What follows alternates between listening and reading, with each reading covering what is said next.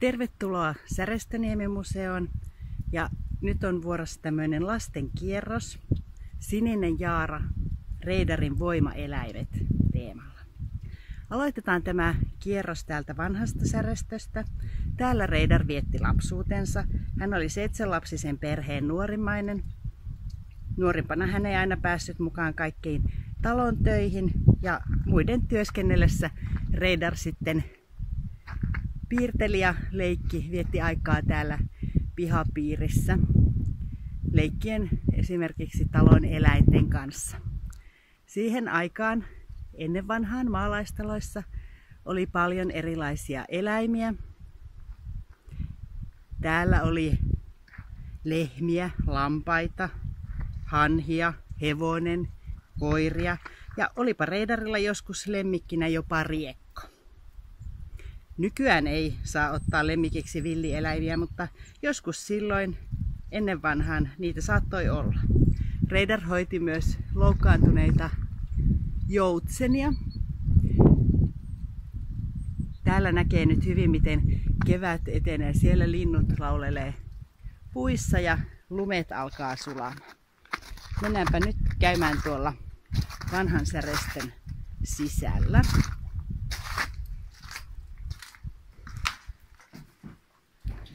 Tässä on tämä eteinen. Katsotaan mitä esineistöä täällä on. Nuo liittyy hevosiin, kuolaimet. Sitten mennään ihan tuonne pirttiin asti.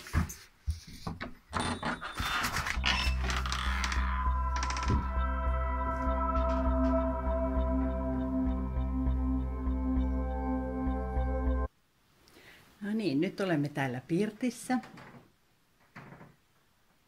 Ja hetipä siellä on yhdestä koirasta tehty akvarellimaalaus. Katsotaan se saman tien tuosta lähempää. Noin, koirat oli reidarille tärkeitä ja eläimistä pidettiin aina hyvää huolta. Täällä Särestössä asui aikanaan paljon ihmisiä neljässä sukupolvessa. Jopa tuossa näyttää olevan Reidarin vanhemmat, äiti Alma ja isä Matti.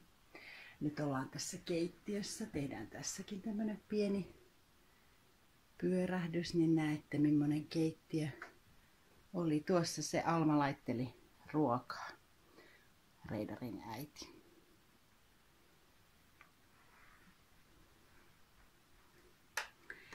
Täällä kerrottiin paljon tarinoita, kun siihen aikaan ei ollut televisioita eikä muita tämmöisiä viihdykkeitä, niin piti tekemiset keksiä itse. Tarinankerronta oli hyvin yleistä. Osa tästä huoneesta on vahingossa mennyt maahisten polun päälle. Se maahisten polku menee täällä nurkassa ja sen takia tähän nurkkaan ei kannata laittaa sänkyä, kun siinä ei saa oikein kunnolla nukuttua. Mutta sitten muissa kohdissa täällä kyllä voi hyvin nukkua. Katsotaan mitä kuvia täällä on seinillä. Siinä on Reidarin piirros Alma ja Matti on lypsyllä. Ja tuossa vähän toisesta kuvakulmasta –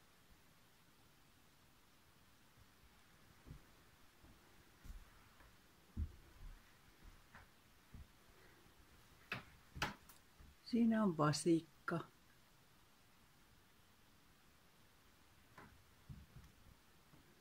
Ja lehmän kuva.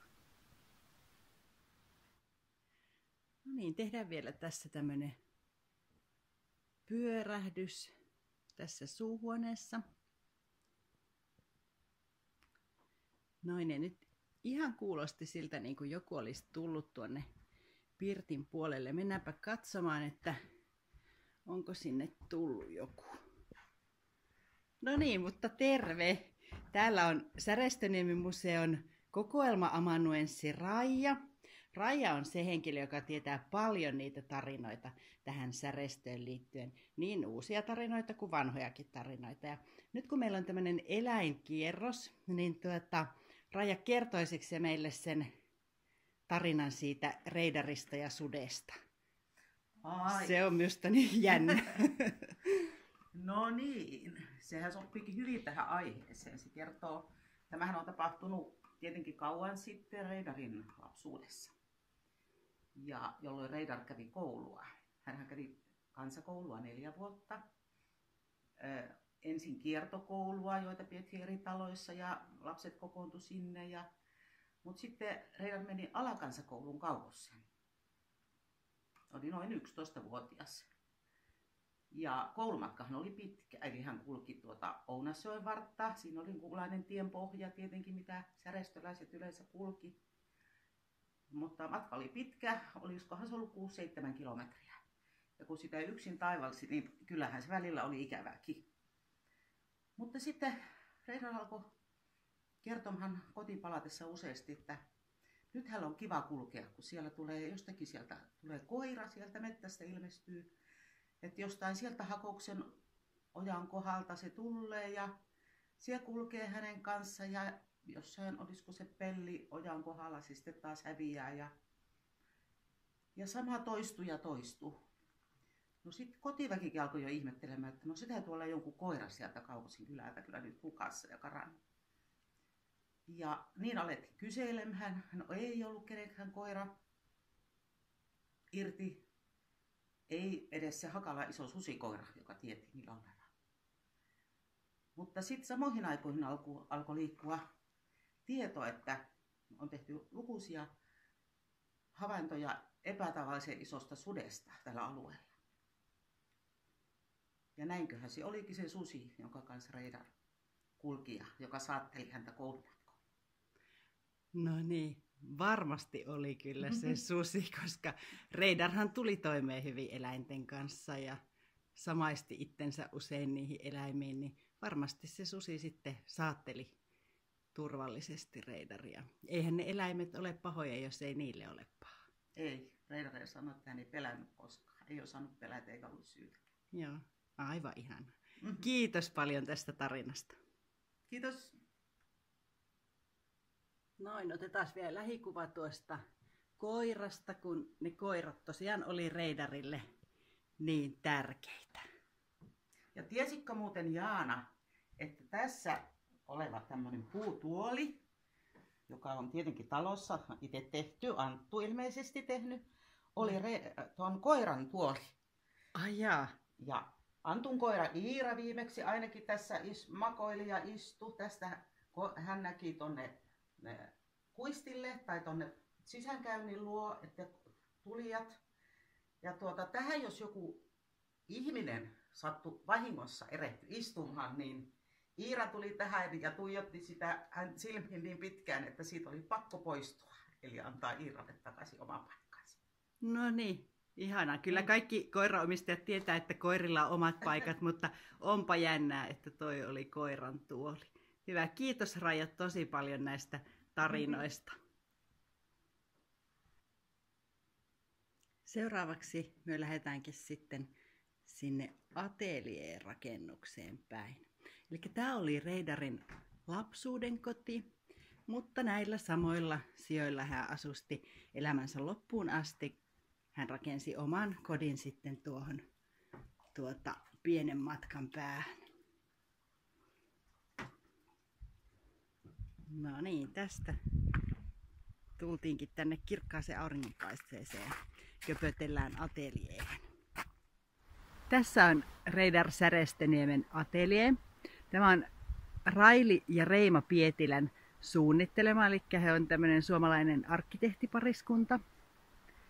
Ja alun pitäen ateljee tarkoitti taidekäsityöläisen lähinnä puusepän työhuonetta, mutta sitten se on, tarkoittaa niin kuin taiteilijan ja hänen oppilaidensa työskentelytilaa. Mennäänpä katsomaan vähän lähempää.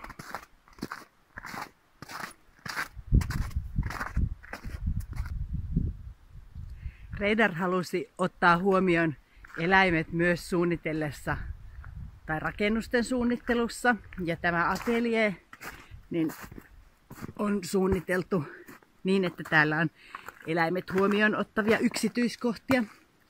Esimerkiksi tuonne kivijalkaan on jätetty koloja, että linnut voivat pesiä siellä.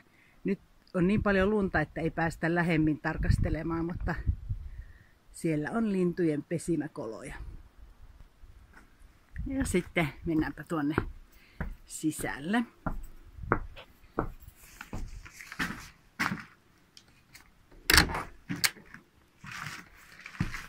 Noin. Tässä eteinen ja heitetään tähän kengät pois. Nyt olemme Reidarin ateleessa. Ja tässä on hänen työpöytä. Tässä näkyy värijauheita, maalituubeja. Ja tuolla on kuivapastelliliituja. Täällä ateliassa on nyt näyttely, missä on Reidarin kuvaamana Särestön perheen elämää ja arkisia askareita.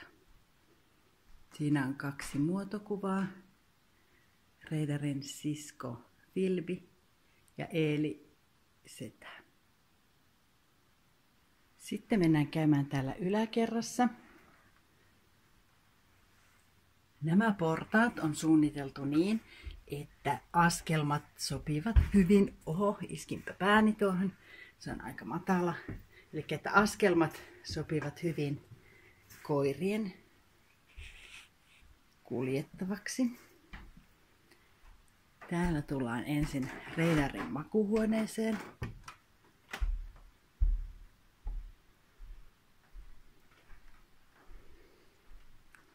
Ja nyt kun me ollaan tällaisella eläinpainotteisella kierroksella, niin kiinnitämme päähuomioon tähän sänkyyn, joka on Reidarin koirien sänky. Reidarilla oli isoja koiria, perhandilaisia ja rottweilereita, niin sänky on sen mukaan sitten. Siinä on Reidarin oma sänky. Ja täällä on tuommoinen grafiikan työ nukkuvasta koirasta. Sitten jatketaan matkaa. Täällä on vierashuone.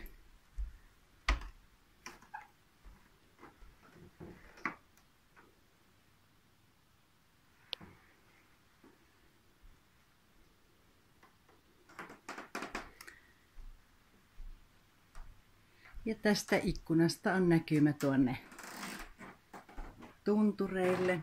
Siellä näkyy kaukana hämöttää ylläs. Tämä portaikko on hyvin matala. Tuohon me äsken iskin pääni. Nyt yritetään mennä varovasti. Pitää vähän kumartua.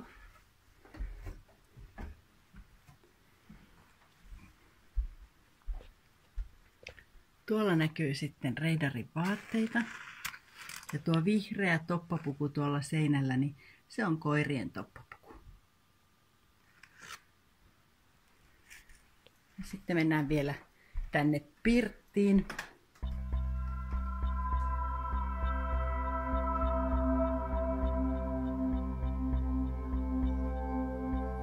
Ja täältä me haluan erityisesti näyttää kuinka moderni Reidar oli jo silloin 40 vuotta sitten. Eli täällä on astian pesukone. Ja tuolla pihalla lintulauta. Se ei nyt ole ollut käytössä, kun linnut ruokitaan toisessa paikassa, mutta Reidarin aikaan oli tuo lintulauta sitten käytössä. Siinä on Reidar koiran kanssa ja tuossa.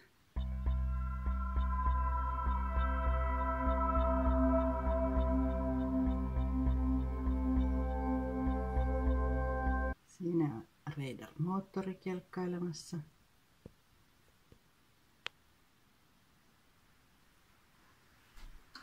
Ja tuolla hiihtämässä koiran kanssa.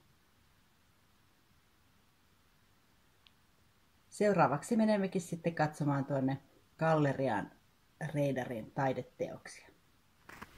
No niin, nyt me tullaan sitten tuonne gallerian lähelle. Täällä on vähän liukasta. Pitää kävellä täällä hangessa, että tuiskaha nuriin. Eli tässä on galleriarakennus. Tämäkin on Reima ja Raili Pietilän suunnittelema. Ja Reidar toivo, että hänen töillään olisi sellainen näyttelytila, mikä on rakennettu semmoisen tukkipinon sisään.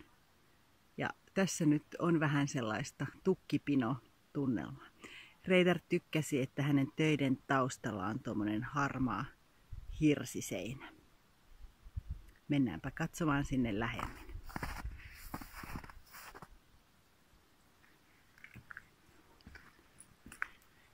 Täällä pitää myös muistaa vähän kumartua, että ei iske päätään.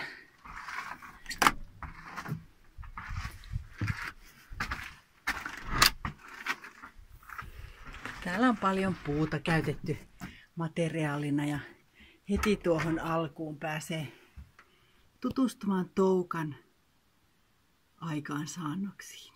Reidar niitä ihmetteli, että kuinka voikaan olla kaunista tuo toukan tekemä jälki. Vailla mitään järkeä, mutta silti niin kaunista. Vähän niin kuin tämä ihmisen elämä. Tämän kierroksen nimi on Sininen Jaara, Reidarin voimaeläimet ja siinä on se sininen jaara. Jaara tarkoittaa vuohta, mikä on semmoinen lintu olemassa kuin taivaan vuohi, josta kuuluu semmoinen mäkättävä ääni, kun se lentää. Niin siitä on osittain tämä taivaan jaara saanut nimensä. Nyt me ollaan täällä gallerian pääsalissa. Ja täällä on tämä Reidarin juhlanäyttely, eli tänä vuonna on 95 vuotta Reidarin syntymästä. Ja näyttelyn teemana on luonnonsuojelu. Ja tässä on näyttelyn nimikkoteos. Näyttelyn nimi on Viimeinen hukka hätä arktisen luonnon puolesta. Ja tässä on se viimeinen hukka. Täällä on monta muutakin nimeä tällä taululla, muun muassa tapporaha ja loppuun ajettu.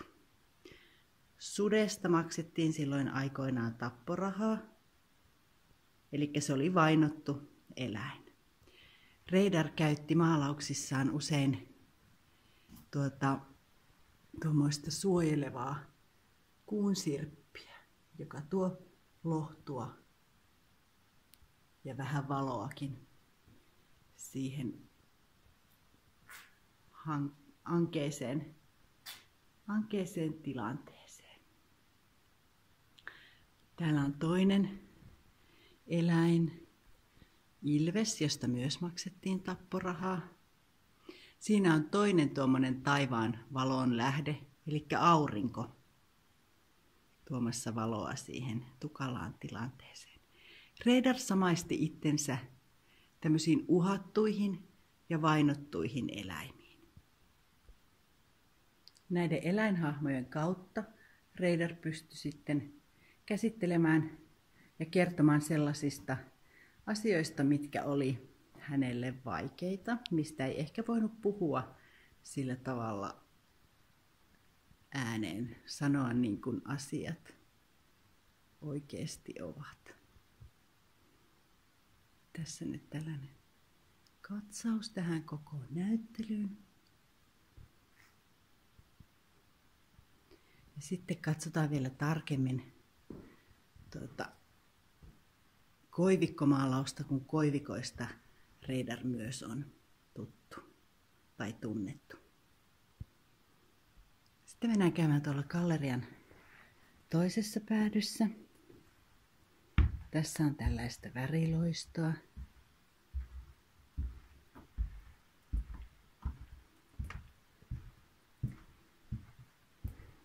Täällä on lisää näitä eläimiä. Suokukkoja, harakoita, kurkia,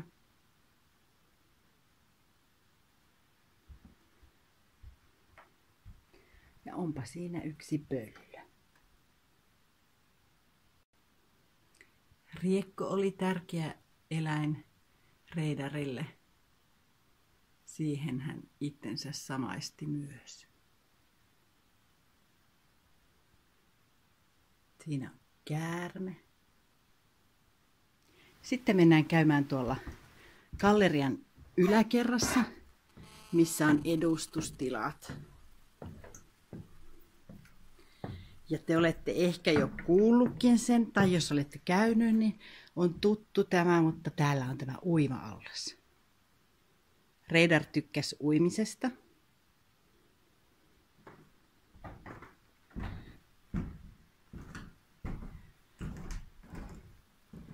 Ja ehkäpä siksi hän samaisti itsensä myös hylkeisiin. Siellä on maalaus rakastuneet hylkeet.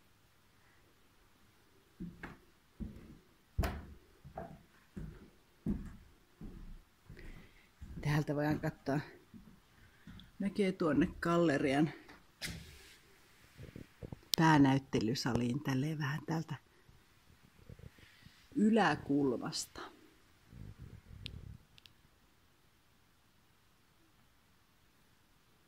Tässä on eksynyt kala.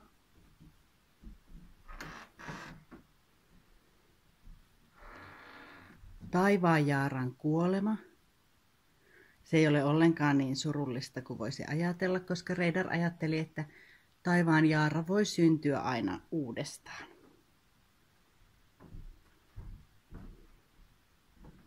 Ja siinä on jaaran pää.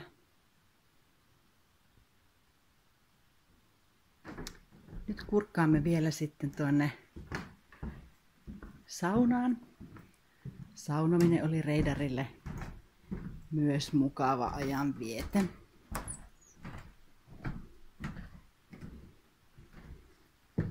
Siinä onkin yksi joutsen. Joutsenet oli Reidarille rakkaita. Hän niitä hoiti, jos sattui olemaan joku loukkaantunut joutsen. Ja täällä on yksi Reidarin saunakaveri kuvattuna. Siinä on Suomen pitkäaikainen presidentti Urho Kaleva Kekkonen Reidarin kanssa saunomassa.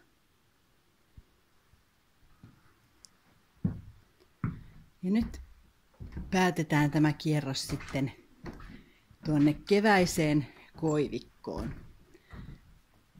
Kevät tulee kohisten, niin tarkka, tarkkaakaapa kevään merkkejä ja kesää odotellessa. Oikein aurinkoisia päiviä kaikille. Heippa!